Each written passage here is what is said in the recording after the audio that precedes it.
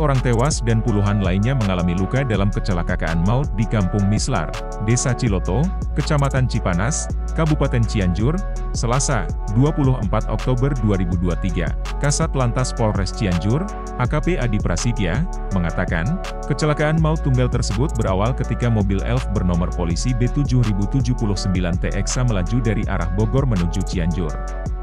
Saat di lokasi kejadian mobil yang membawa-membawa rombongan anak-anak dari rumah yatim Duaf Alwem Tanggerang menabrak tebing di kiri jalan, katanya pada wartawan.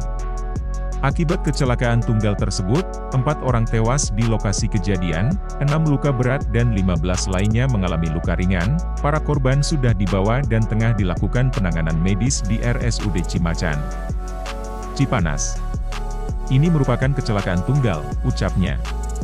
Adi mengatakan, pihaknya hingga saat ini belum dapat memastikan penyebab kecelakaan tersebut. Namun pihaknya tengah melakukan penyelidikan. Olah TKP masih berlangsung, dugaan sementara memang akibat rem blong.